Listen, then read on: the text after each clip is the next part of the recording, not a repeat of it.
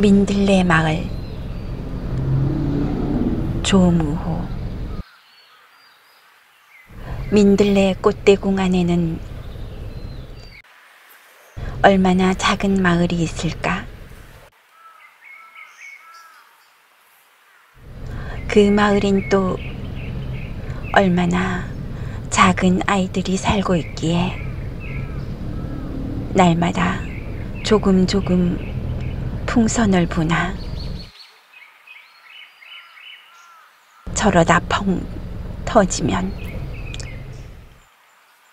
풍선보다 작은 아이 누가 달래나